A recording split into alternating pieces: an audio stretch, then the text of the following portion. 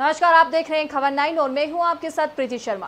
नगर हाट पिपलिया के वार्ड क्रमांक सात और आठ में बारह के पुरुष व महिलाएँ वार्ड नंबर नौ के पार्षद प्रतिनिधि बुजराम जाट के नेतृत्व में शिकायती आवेदन पत्र लेकर नगर परिषद पहुँचे, जहाँ पर उन्होंने पानी के खाली मटके फोड़कर अपना आक्रोश जताया। आक्रोशित महिलाओं ने कई दिनों से टैंकर नहीं आने का आरोप भी लगाते हुए वार्ड में अति शीघ्र पानी सप्लाई के लिए शिकायती आवेदन सीएमओ प्रभुलाल पाटीदार को दिया।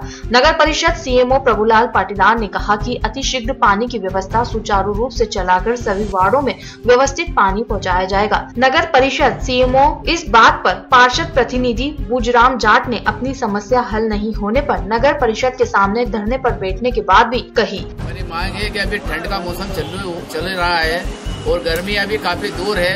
और अभी से ये नगर के ये हाल है पूरे नगर में टैंकर नहीं जा रहे खास करके मेरे वार्ड में भी मतलब पानी की बहुत दिक्कत है इसलिए सब वार्ड वाले साथ में आए मेला पुरुष सब साथ में।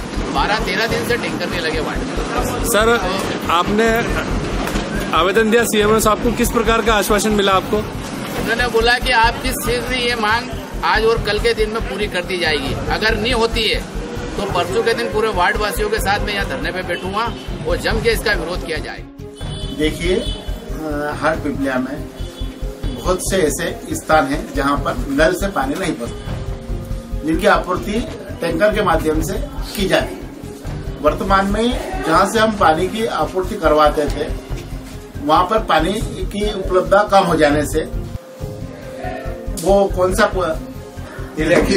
मनासा मनासा से हमने पानी की जो टंकी भरने की आपूर्ति की वो अलग है नल जल से होगी। इसके अलावा जो टैंकर भरने का जो स्थान था वहाँ पे पानी का स्रोत जो था वो सूख गया।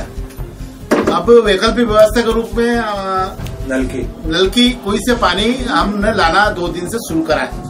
आज जिन लोगों ने आज आवेदन दिया जिन वार्ड वासियों ने तो उनके वार्डो में आज दो टैंकर की हमने एक ठीए पे दो टैंकर आज हमने उपलब्ध कराए रही शाम तक और उपलब्ध कराएँगे कल और उपलब्ध कराएँगे।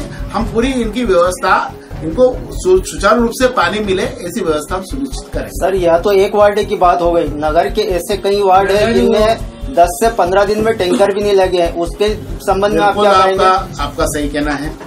हम बिल्कुल आपका सही कहना है। हम बड़े बड़े ही गंभीर बेजल स्थिति से जूझ रहे हैं। ये आप सभी लोगों को विदित है। पूर्व में मेरे द्वारा आप लोगों को प्रेस के माध्यम से अवगत कराया है कि नगर में पानी की बड़ी समस्या है।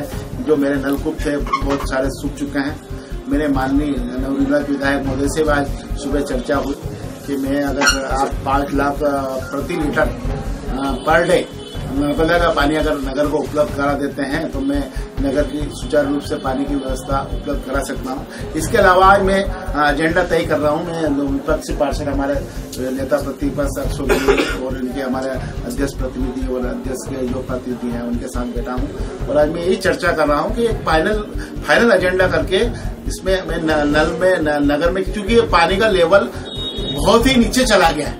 इसलिए एक एक हज़ार के आसपास के नलकूप कराना आवश्यक हो हाट पिपलिया से शाकिर मंसूरी की रिपोर्ट। आज की खबरों में इतना ही। बने रहिए हमारे साथ खबर नाइन में।